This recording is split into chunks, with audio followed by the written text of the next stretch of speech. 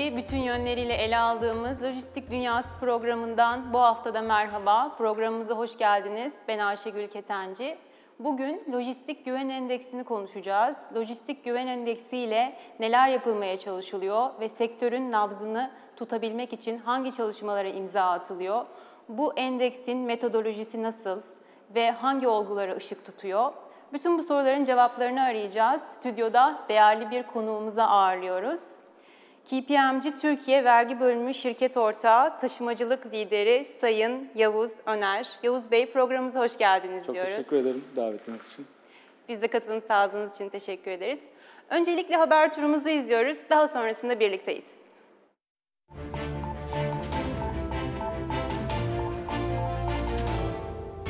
Türkiye İstatistik Kurumu ve Ticaret Bakanlığı işbirliğiyle oluşturulan Mayıs ayına ilişkin geçici dış ticaret verileri açıklandı. Buna göre genel ticaret sistemi kapsamında ihracat Mayıs'ta geçen yılın aynı ayına kıyasla %15,3 artarak 18 milyar 984 milyon dolar, ithalat %43,5 yükselişle 29 milyar 588 milyon dolar oldu. Ulaştırma ve Altyapı Bakanı Adil Kara İsmailoğlu, Kocaeli Kongre Merkezi'nde düzenlenen Ulaştırma 2053 Körfez Lojistik Çalıştayı'nda yaptığı konuşmada Doğu-Batı Uluslararası Tarihi İpek Yolu'nun orta koridorunda yer alan Türkiye'nin Çin'den Londra'ya uzanan bir hattın merkezinde olduğunu, 2002'den bu yana ulaştırma ve altyapıya gerçekleştirdikleri 183 milyar dolarlık yatırımla bu konumun fırsatlarını ortaya çıkardıklarını anlattı. Kara İsmailoğlu 2053 yılına kadar 198 milyar dolarlık yatırım daha planladıklarını bildirerek 2053 vizyonumuz doğrultusunda ülkemizin Asya ile Avrupa arasında bugün 700 milyar doları aşan ticaretten alacağı payı arttıracağız ifadesini kullandı.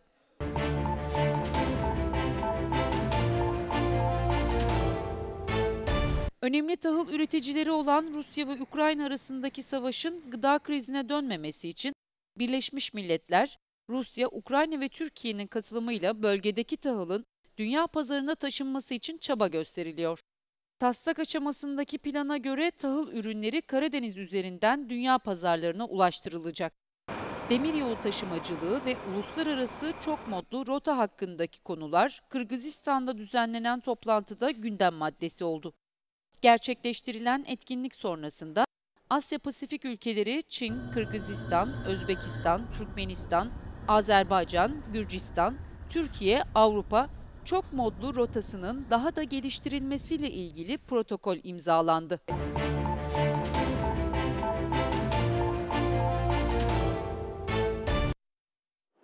Yavuz Bey, bir kez daha hoş geldiniz diyoruz Çok programımıza. teşekkürler, sağ olun. Açılışta da konuştuğumuz gibi bugünün ana gündem maddesi lojistik güven endeksi. Aslında biz güven endekslerine çok da yabancı değiliz, aşinayız. İşte televizyonlarda duyuyoruz, haberlerde, basında tüketici güven endeksi açıklandı, ekonomik güven endeksi açıklandı diye. Bunlar belirli aralıklarla devletin yetkili kurumlarınca açıklanıyor. Ama biz bugün biraz daha farklı bir endeksten bahsedeceğiz. Lojistik güven endeksi lojistik özelinde yapılan bir endeks. E, ve bu endekslerin yapılmasının arkasında da aslında ciddi bir emek var. Çünkü bunun bir metodolojisi oluşturuluyor. E, aradan belirli bir zamanın geçmesi gerekiyor. Trendin e, güvenilir hale gelebilmesi için, belirli verilerin ortaya konabilmesi için. E, ve şunu merak ediyorum aslında. Siz bu yola çıkarken neyi amaçladınız? ve e, bugüne kadar bununla ilgili neler yaptınız? İlk olarak bunu merak ediyorum. Yani neyi eksik gördünüz ki böyle bir lojistik güven endeksi gerçekleştirme yoluna çıktınız? Evet, teşekkür ederim. E, lojistik gerçekten e, ekonominin en önemli e, ayaklarından birisi. Bütün ekonomik faaliyetler üretim olsun, e, mal üretimi olsun, hizmet üretimi olsun hepsi bir şekilde taşımacılık ve lojistik ayağına dayanıyor. E, ve e, taşımacılık sektörü, lojistik sektörü gerçekten ekonomideki kırılmalar, genişlemeler, gelişmeler, iyileşmeler veya kötüleşmelerden doğrudan etkilenebiliyor. Veya lojistik sektöründe bir kırılma varsa bu da ekonominin diğer alanlarını doğrudan etkileyebiliyor. Dolayısıyla ölçülmesi, e, trendlerinin analiz edilmesi, beklentilerinin analiz edilmesi, sektör oyuncularına yol gösterilmesi e, ve stratejik açıdan önemli olduğu için planlamalarının yapılması bakımından e, elimizde ölçülerin olması çok önemli. E, biz e, bu yola çıkarken aslında tabii bu işin esas mimarı olan İstanbul Üniversitesi Ulaştırma ve Lojistik Fakültesi'nin değerli hocalarını anmak lazım. Onlar e, sektöre özgü e, böyle bir e, endeks çalışmasının olmadığını, TÜİK'in çeşitli endeksleri olduğu veya çeşitli sanayi ticaret odalarının bir takım endeksler yaptıklarını, fakat bu sektöre özgü böyle bir e, endeksin bulunmadığını e, belirterek böyle bir yola çıkmak istediklerini, KPMG olarak bizim nasıl destek olabileceğimizi ilettiler. E, bizi de gerçekten bu anlamda heyecanlandıran bir çalışma oldu. Burada aslında dediğimiz gibi sektörün ihtiyacı olan ölçme, trendleri analiz etme ihtiyacını karşılıyor. Bugüne kadar e, Dünya Bankası'nın e, lojistik performans endeksi var biliyorsunuz. İki yılda bir yayınlanıyordu. Son birkaç yıldır da yayınlanmadı. E, orada e, biraz daha geniş bir zaman aralığı, yani iki yıllık bir süreçteki e, gelişmeleri e, gösteren e, bir gösterge niteliği olan bir e, çalışmaydı. Fakat lojistik güven endeksi, e, birazdan metodolojisinden de bahsedersek, e, daha dinamik, her çeyrekte e, anketlerle sektörün gidişatını analiz eden, dolayısıyla her günlük değişmelerden anında e, bunu ölçümlerine yansıtan ve sonuçlar veren bir e, analiz olarak, bir endeks olarak karşımıza çıkıyor. E, bir kere e, sektörün tüm oyuncuları açısından da önemli bir gösterge niteliğinde. Ya biraz metodolojisinden bahsetsek. Tabii. E, ne zaman başladı, ne kadar süredir devam ediyor, burada sorulan sorular nelerdir? E, yani biraz içeriğinden bahsetsek. Tabii. Ölçüyorsunuz ama nasıl ölçüyorsunuz? Ee, evet, burada e, lojistik güven endeksi dediğimiz aslında bilimsel bir çalışmaya dayanıyor. TÜİK'in e, metodolojilerine, endeks metodolojilerine benzer e, bir e, metodolojiye dayanıyor. Onlarla uyumlu bir metodolojiye dayanıyor. Lojistik güven endeksi iki ana endeksin ölçümünden oluşuyor. Bir mevcut durum, yani içinde bulunulan çeyrek dönemi ölçen, o dönemdeki belli kriterlere göre sektör paydaşlarının, oyuncularının bakışını ölçen, bir de o dönemden gelecek döneme baktığımızda, gelecek 3 aya ve sonraki dönemlere baktığımızdaki e, çeşitli e, kriterler bakımından nasıl gördüklerini e, belirleyen ve bunları bir araya getirip bir dönemsel endeks değeri çıkaran e, bir e, çalışma. Burada e, 0 ile 200 arasında endeks değeri değişiyor. Eğer 100'ün üzerine endeks çıkarsa e, olumlu, pozitif bir görünümü var sektörün. Yüzün altına indikçe de negatif bir e, görünümü ifade ediyor.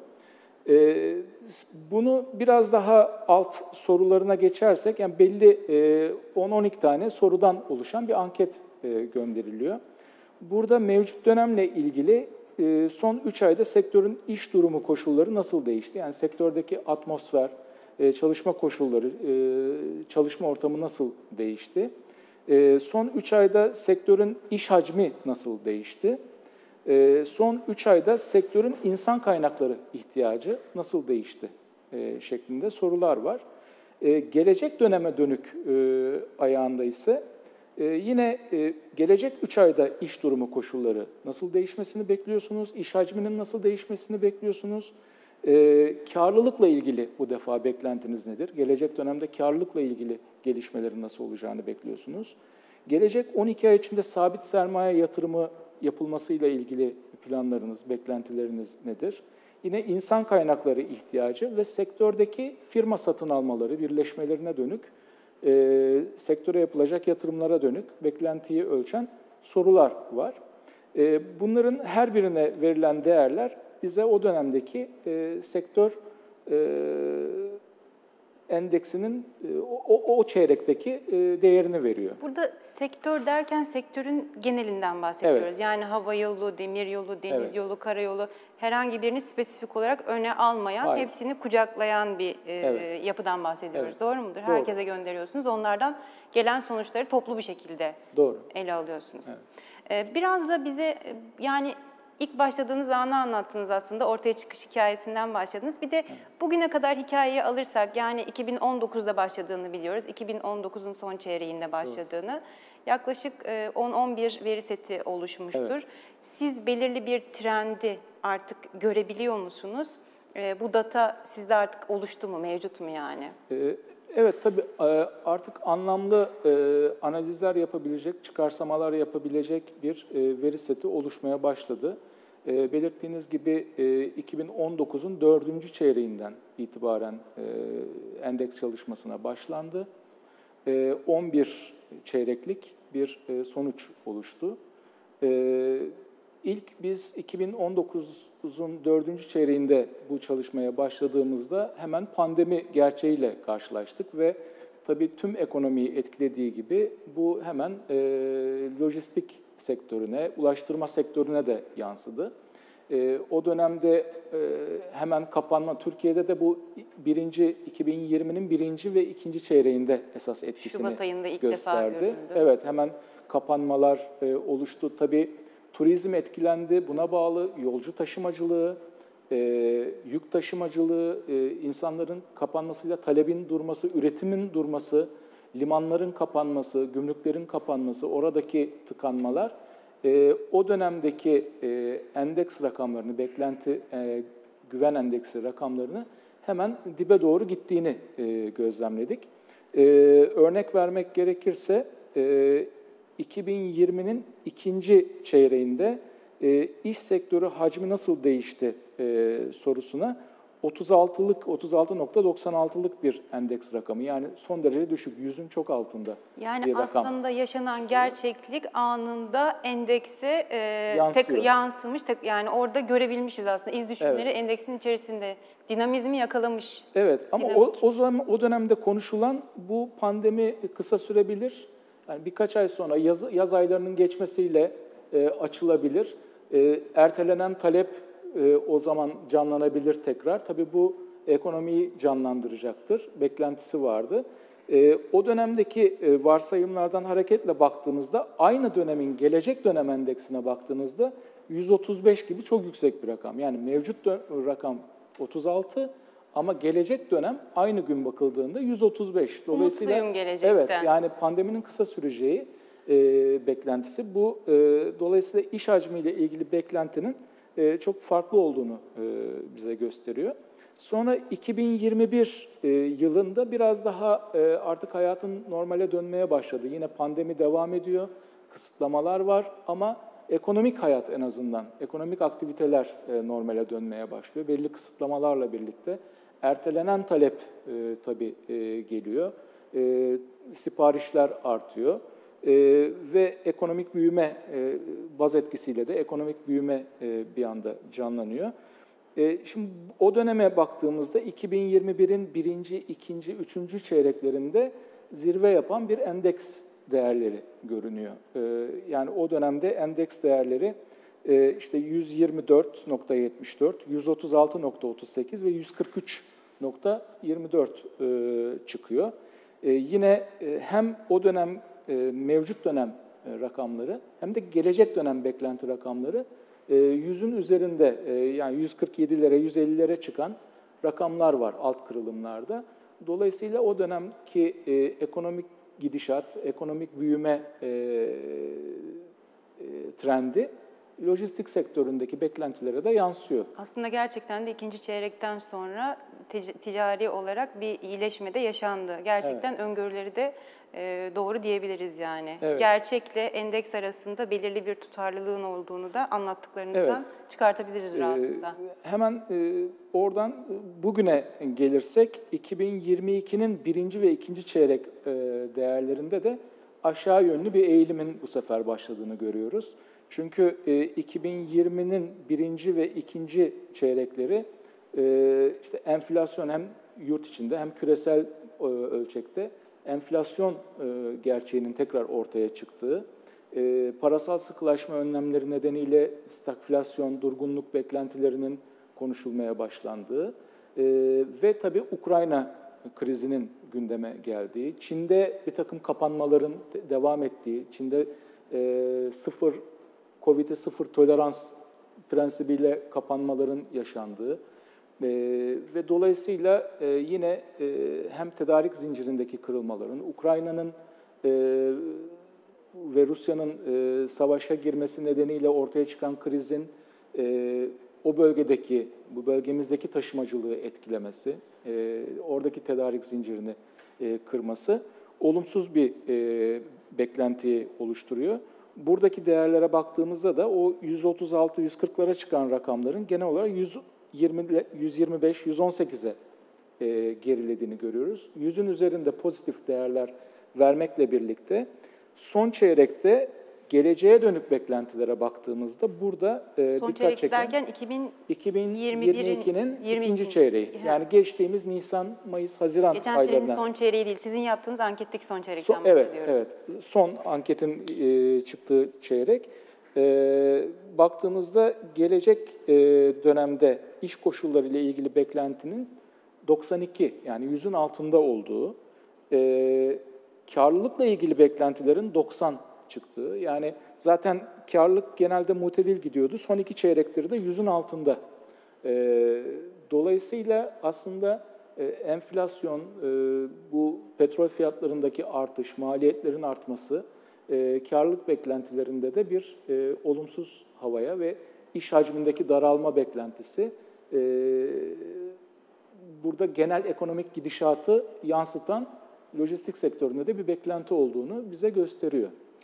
Aslında söylediklerinizi toparlarsak iki buçuk seneden fazla verilen bir emek var. Ee, 11 e, dönemden oluşan da bir trend var ve bu trend geçmişten günümüze gerçeklikle yani lojistik alanında işte Ukrayna krizinden başlayarak pandeminin etkisi e, ve diğer bütün e, e, e, etkileri işte e, enflasyonun e, fazlalaşması vesaire bunların da aslında e, endekse yansıdığını görüyoruz ve şu anda elimizde masanın üzerinde belirli bir veri seti oluşmuş durumda. Evet. Ben bundan bir sonraki adımı e, an- biraz anlatmanızı rica edeceğim. Yani bu veri setini siz hangi kurum ve kuruluşlarla paylaşacaksınız?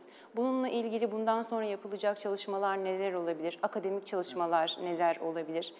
Devlet kurumlarının çalışmaları veyahut da çatı sektörlerin, çatı kuruluşlarımızın çalışmaları neler olabilir? Yani elimizde artık ölç, ölçülebilir bir veri var, bir data var. Peki bu datayı biz bundan sonra nasıl kullanacağız? E, tabii gerçekten bu önemli bir ölçü. Hani ölçemezseniz yönetemezsiniz e, kesinlikle.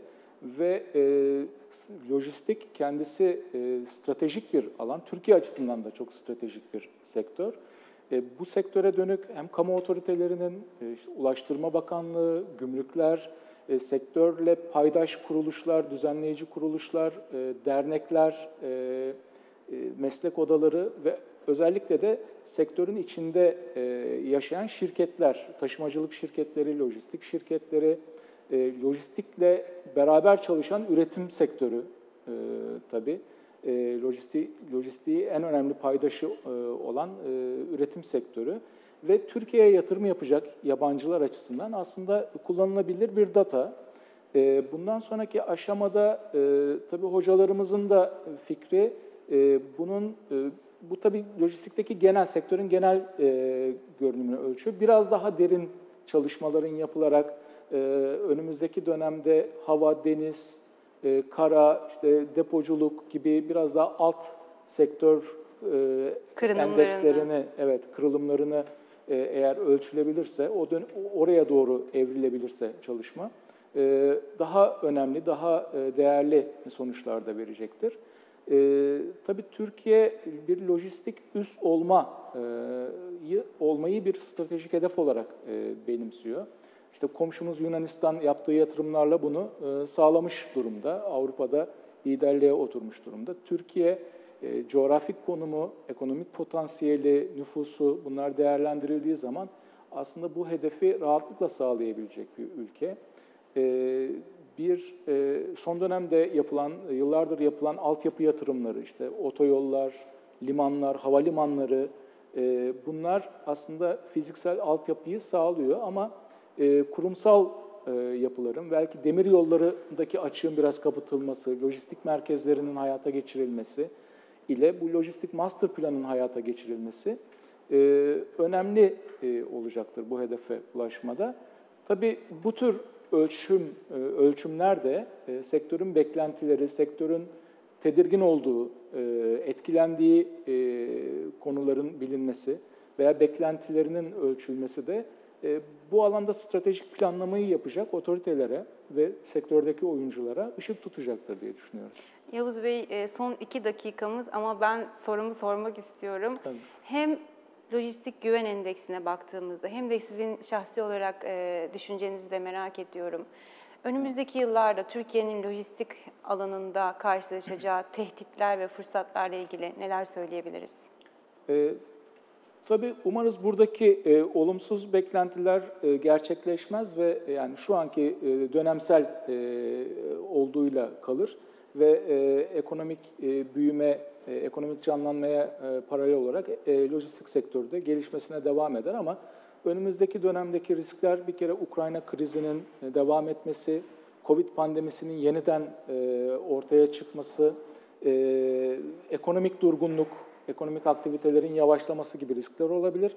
Ama Türkiye'nin coğrafi konumu tabii önemli bir fırsat yaratıyor. Bizim üretim ve lojistik alternatifi olarak ortaya çıkacak e, atılımları yapmamız lazım. Teknoloji çok önemli. E, teknolojiye çok yatkın bir e, genç neslimiz var ve startup şirketlerimiz var. Lojistik sektörüne de yatırım yapıyorlar. E, sektörün dijitalleşmesi açısından onların yapacakları atılımlar da önemli bir katkı sağlayacaktır. Yavuz Bey özellikle lojistik güven endeksi ile ilgili çok detaylı bilgilendirmelerde bulundunuz. Teşekkür ediyoruz.